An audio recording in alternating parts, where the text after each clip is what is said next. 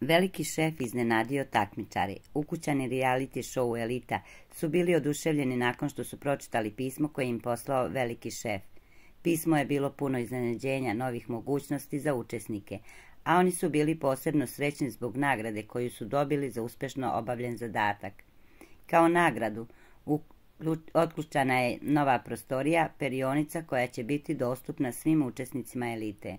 Također najavljeno je da će učesnici moći da peru veš nakon što zasluže određeni broj žetona, a danas je sam vođa Ivan Marinković dobio dva žetona. Ostali učesnici će morati da sačekaju kako bi oni mogli da koriste perionicu. Draga Elito, pre svega želimo da vam čestitamo na zabavnoj igri Istina ili izazov i da vas sve nagradimo zbog kvalitetno obavljenog zadatka.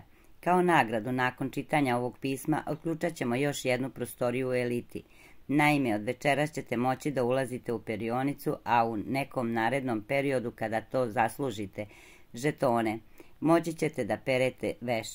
Danas će jedino vođa simbolično dobiti dva žetona, a svi ostali učesnici morat će da sačekaju kako bi prali veš, osim toga Napominjemo da je Ivan danas dobio zadatak da izabere deset foliranata, što naravno ne podrazumeva da može da odabrati sebe.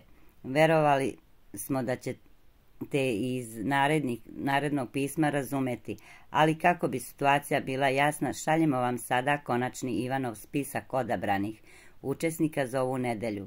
Gastos Ena, Ana Nikolić, Mimas, Mateja, Uroš Stanić, Uroš Rajčić, Luka, Aleksandra Nikolić i Sofija.